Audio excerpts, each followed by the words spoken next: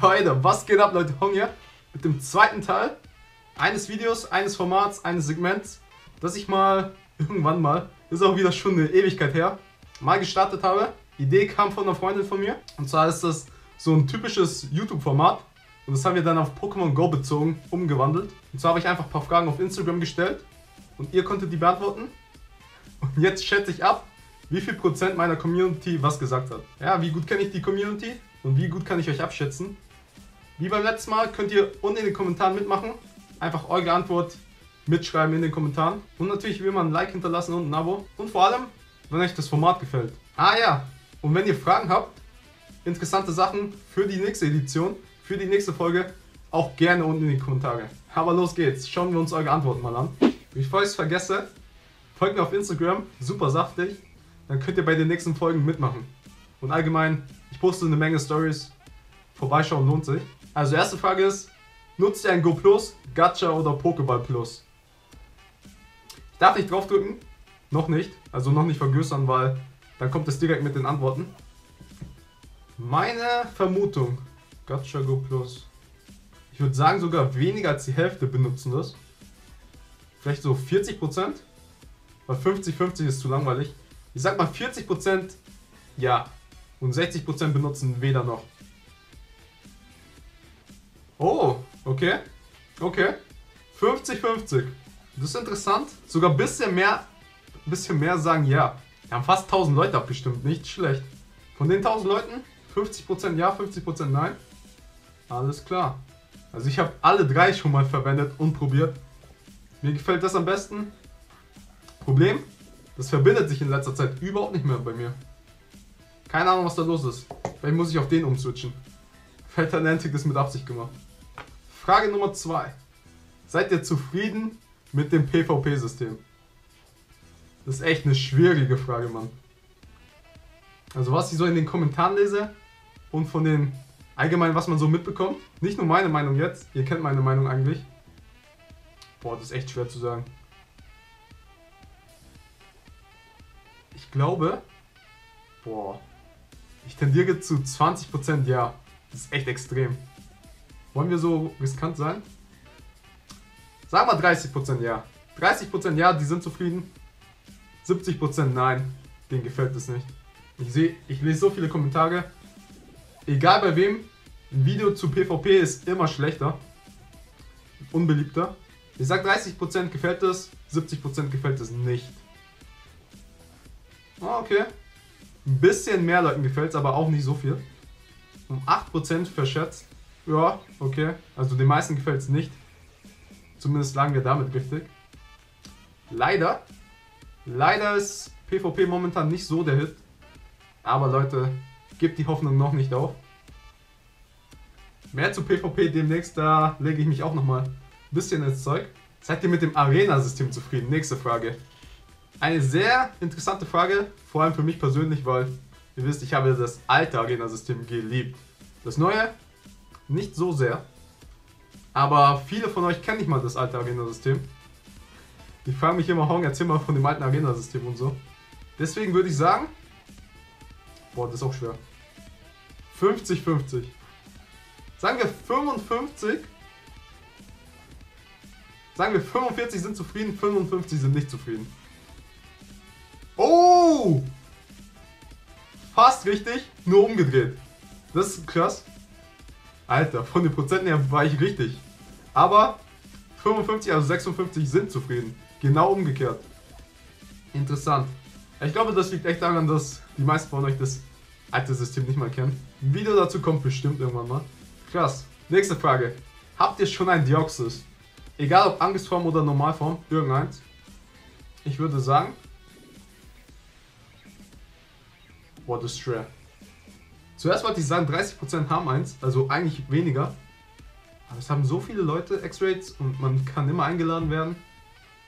Ich krieg zwar noch sehr viele Kommentare unter den Videos im Livestream, wie man eine Einladung bekommt, aber ich weiß nicht. Ich sage, mehr Leute haben einen. Also sagen wir mal 60, 60% haben einen. Uh, 66% sogar. Nicht schlecht. Ich wäre fast auf 70 gegangen. Okay, krass. Aber schon mal die richtige Richtung. Viele Leute wissen jetzt, wie man triggert und man kann jetzt immer einen einladen. Das sollte echt kein Problem sein. Ich kenne natürlich immer noch Leute, die keinen haben. Dann kommen wir zu ein paar Sammelfragen. Sammelt ihr Shiny? Ich persönlich nicht, aber das ist sehr beliebt. Ich würde sagen 80%, sagen wir 90%, ja. 90% der Leute sammeln Shinies. Wow, 81. Wäre ich doch bei 80 geblieben. Ich bin zu hoch gegangen. Ich war zu übereifrig. 80% sammeln Shinies, klar. Wieso nicht? Ich würde die auch sammeln. Problem ist, man kann sich entscheiden, das ist so ein Glücksfaktor. Egal wie viele du antippst und fängst, ist nicht garantiert. Manche fangen es beim ersten Mal, oh, Shiny. Und manche tippen 3, 4, 5, 600, 700 Stück an und kriegen kein Shiny. Deswegen, ja, yeah, ich habe es halt nicht unter meiner Kontrolle. Wenn ich einen bekomme, dann ist schön.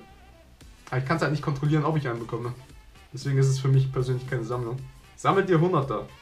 Ja, tue ich. Aber 100er kann man effektiv eigentlich nur mit Maps sammeln. Das heißt, indirekt ist die Frage, habt ihr auch eine Map verwendet? Und da würde ich sagen, ist die Meinung gespalten 50-50. Oh, was? Okay. Natürlich kann man auch 100er ohne Map sammeln. Aber ja, damit habe ich nicht gerechnet, dass die 100er so beliebt sind. Das ist ja genau wie bei Shinies. Das ist sogar 1% mehr, oder? Ah, oh, heftig. Ah, jetzt tendiere ich bei der nächsten Frage. Sammelt ihr Luckys? Auch zu 80%. Ich glaube, die Leute sehen das irgendwie alle drei gleich. Ich sag einfach 80%. Oh mein Gott. 44 nur. Okay, Mann. Damit habe ich äh, nicht gerechnet. Aber für mich ist das eigentlich alles dasselbe. Aber okay. Ist natürlich auch schwieriger zu bekommen. Man muss tauschen. Man muss immer einen Kollegen haben. Oder einen zweiten Account. Aber egal. Nächste Frage. Spielt ihr seit Anfang an? Ich spiele seit Anfang an. Mehr oder weniger. Ihr wisst, am Anfang habe ich einfach nur das Spiel gedownloadet. Und ab und zu mal einmal am Tag, zweimal am Tag angemacht. Bin nicht wirklich rausgegangen den ersten Monat, die ersten paar Wochen. Aber rein theoretisch seit Anfang an. Und ich weiß, eine Menge Leute haben später erst angefangen. Das will ich dann trotzdem als von Anfang an zählen. Ich würde sagen 75% seit Anfang an. Oh! 76! Direkter Volltreffer. Direkter Volltreffer. Ja, so ungefähr stimmt es eigentlich auch. Nächste Frage. Da habe ich auch ein paar Antworten bekommen, die sind halt genau Level 35. Beim letzten Mal habe ich gefragt, wie viele Leute von euch schon Level 40 sind. Und da habe ich mich ein wenig verschätzt, aber nur einen Ticken. Jetzt Level 35. Drunter, drüber. Ich sage 40. Nee. Sind wir wieder ein bisschen extremer? Ich sage 30% sind drunter. Und bereits 70% sind über Level 35. Die 35er, tut mir leid, die sind jetzt mal ausgeschlossen. Oh! Oh! Gar nicht so daneben. Ich habe 30 gesagt, es sind 25. Hm. Ich verbessere mich. Alles klar. Wir kommen zu den letzten zwei Fragen. Die habe ich beim letzten Mal auch gestellt. Aber jetzt wollte ich mal den Vergleich sehen. Beim letzten Mal war, ich habe es mir hier aufgeschrieben, habt ihr mehr als einen Account? Da war es, da war es genau 50-50, okay? Seitdem ist eine Menge passiert. Viele Leute haben einen zweiten Account angefangen für Luckies, um die Motivation zu behalten und da am Ball zu bleiben. Und für Raids natürlich. Entweder legendäre oder jetzt irgendwelche Vierer Duo oder sogar Hydran Duo. Also da haben auch viele zweiten Account angefangen zum Raiden. Deswegen, weil es davor 50-50 war und jetzt so viele Gründe gibt, würde ich sagen, 65% ja haben mehr als einen Account. Ah ja, wir sind, wir sind gestiegen, aber nicht ganz so krass, wie ich es mir gedacht hatte. 57, nicht ganz 65, aber wir sind auf jeden Fall gestiegen zum letzten Mal. Auch sehr interessant zu sehen, wie sich das so verändert hat. Dann kommen wir zur letzten Frage. Seid ihr free to play? Das heißt, Habt ihr schon mal Geld für das Spiel ausgegeben? Free to play heißt free, also kein Geld ausgeben. Und da waren wir beim letzten Mal. Da waren wir beim letzten Mal bei 30% zu 70%. 70% waren free to play. Und seitdem gab es eine Menge geiler Boxen. Ich glaube, wir haben uns auch da wieder ein bisschen gesteigert. Mehr Leute geben jetzt Geld für das Spiel aus. Ich denke, wir sind jetzt bei Free to Play sind jetzt anstatt 70 vom letzten Mal nur noch 60. Oh wow. Das war genau andersrum beim ersten Mal. Es waren noch 70% Free-to-Play. Und jetzt sind es einfach 70% nicht mehr Free-to-Play. Das ist eine heftige Änderung. Das ist ein krasser Wandel. Alter, ich muss noch mal nachschauen, ob es echt so war. Okay, ich habe gerade nachgeschaut. Ich habe die Zahlen verwechselt. Beim letzten Mal war es auch 30, 70. Aber 70% waren nicht Free-to-Play. Die Mehrheit der Leute gibt Geld aus für das Spiel. Da habe ich eigentlich nicht so erwartet. Ich dachte, und beim letzten Mal habe ich es auch gedacht, dass die meisten Leute kein Geld ausgeben für das Spiel. Aber es ist genau bei 70-30 geblieben. 70% geben immer noch Geld für das Spiel aus, was gut ist. So bleibt das Spiel am Leben.